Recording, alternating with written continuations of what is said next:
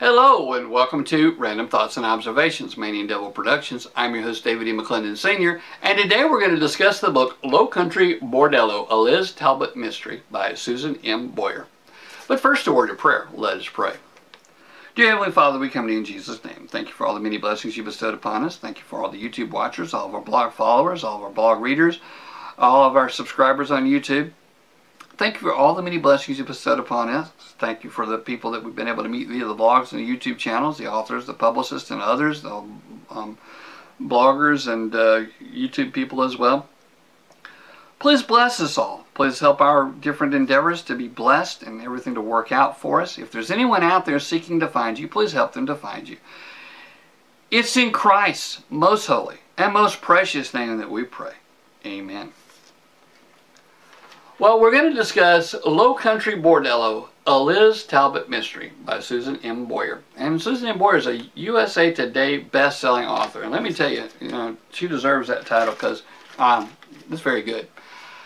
Well, now the book is um, based sort of in a bordello. Now, that's a bawdy house. Um, there are other names for it, but uh, we don't need to get into that. And the thing about it is that it doesn't go into detail like that. You know, it's based there, but there's not that much. Um, a Christian could read this and not be offended. We're Christians, very staunch Christians, very um, devout Christians, and we don't see that there's a problem with the whole bordello thing. And in fact, it's a little bit funny. Um, we think that uh, the setting is uh, interesting we think the way that they set it up is interesting. It doesn't all take place there. Um, and it doesn't go into any real details about what goes on there. Of course, if uh, you want to put some imagination to it, you probably could, but that's up to you. We love this book. We think that it is very entertaining. Um, we think that uh, in most of these uh, Talbot books, that uh, you're not really going to figure out who did it. And in the case of most of these, you've got two or three, in some cases five or six people that uh, could have done it. You got uh, maybe even there wasn't a crime committed. Maybe that's possible. Maybe the um, there wasn't a murder. Maybe there wasn't a robbery. Maybe there wasn't whatever. That's possible throughout the book in some of these books.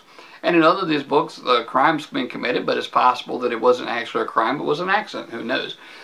Anyway, um, it's not one of those books that you can have a formula because you know you read some of these mysteries and after you've read, read two of them you know exactly what's going to happen you know um, before the book's over with you know well in the last book so and so did it so it looks like a different name but the same basic character they did it. Well it ain't the same basic characters even though some of the characters go from one book to the other actual names and places.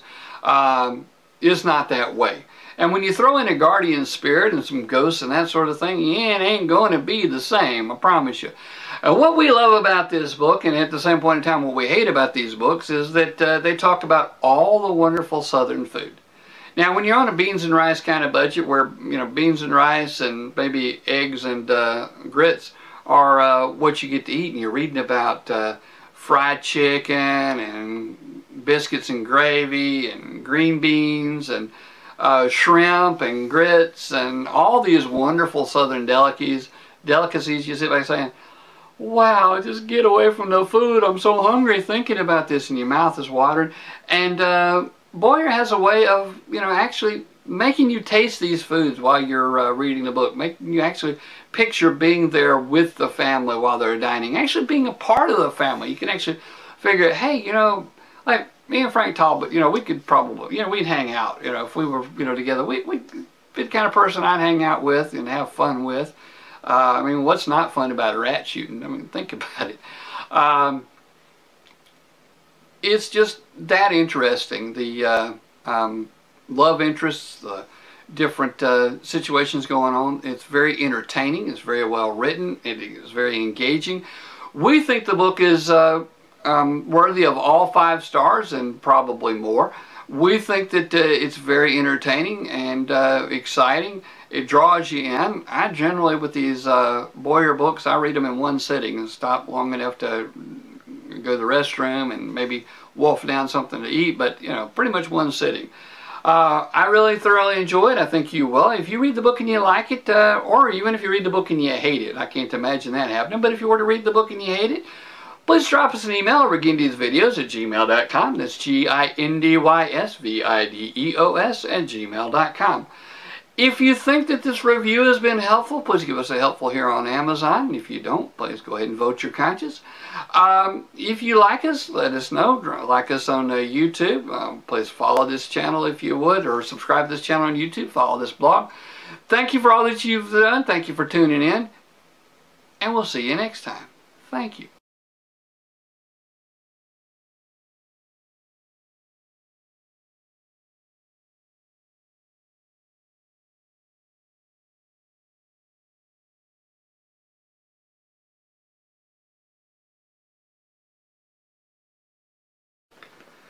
Gindy sounds like a good book.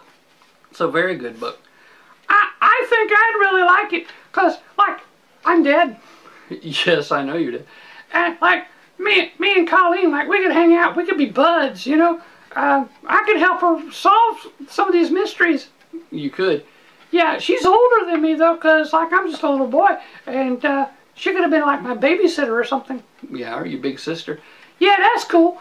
Anyway, I think people will like this book. I really did. And uh, Gindy's kind of nuts over there because uh, he, he kind of messed up in that uh, last video, but we're going to let it go anyway. Anyway, people, if you like to see me, drop me an email over at seymourhamlet at gmail.com. That's letter C, period, M-O-O-R-E, period, H-A-M-L-E-T, at gmail.com. I also got one of them things, you know that thing with the bird, that little blue bird?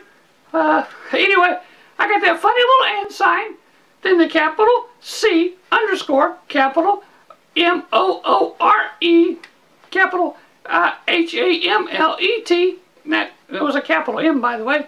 Uh, just look at the screen and it'll tell you the screen. No, screen. Look at the screen. Look, see the screen. Ah! Look at that. Okay. Well, look at the screen and uh, it'll tell you what you need. And I thank you.